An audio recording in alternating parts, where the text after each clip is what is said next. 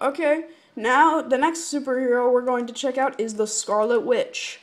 And let's see her um effects, like what she has. So, she gets magic and flight. So, like like Thor, Vision, Iron Man, uh like that they can she can fly.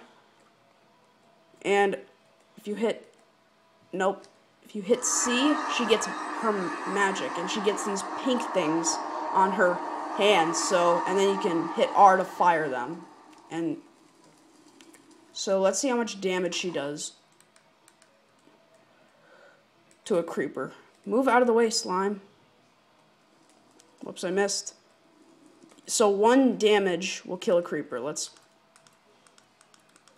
She doesn't have a very good strength boost, but when you have the magic on and you fire, it it's a one-hit kill. So anyways, turn it off. Turn it off, you just hit C. And yeah, that's pretty much it for the Scarlet Witch. So, and time for time to show her brother Pietro Maximoff or Quicksilver. And he gets speed and strength 3. So let's test out his strength. Oops. So it's he so he he has super speed and here's the thing, like the Flash, if you hit F, you start going even faster. And you can like the step assist, he also kind of he gets step assist.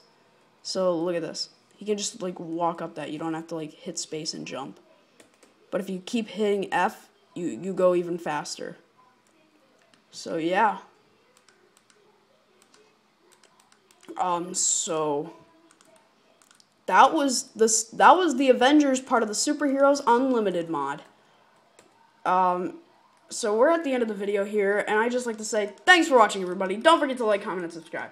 If you have any suggestions for the next mod I should review or the next game I should play, video game or Minecraft game, leave a comment down below, and also leave a comment on which part which part of the Superheroes Unlimited mod you want me to review next. Do you want me to review the Justice League? Do you want me to review the villains? Do you want me to review um, the Guardians of the Galaxy? Um, just leave a comment down below saying that. Bye-bye!